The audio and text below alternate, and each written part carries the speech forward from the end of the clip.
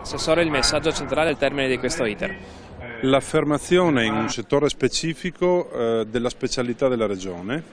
l'affermazione eh, al termine di questo percorso che la collaborazione tra gli enti, in questo caso eh, la Regione, la provincia di Trieste e la prefettura di Trieste porta a dei risultati. Questo è un risultato importante in un momento in cui qualcuno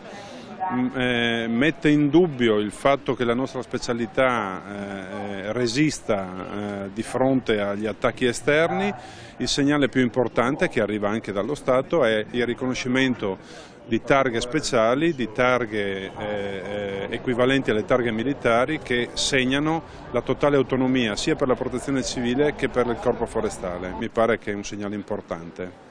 Assessore, come è interessata la forestale da questa novità? È interessata perché tutta la forestale verrà dotata da targhe speciali che ci permettono di dare maggiore riconoscibilità ai nostri agenti, ci permettono in questo momento di ribadire una volta di più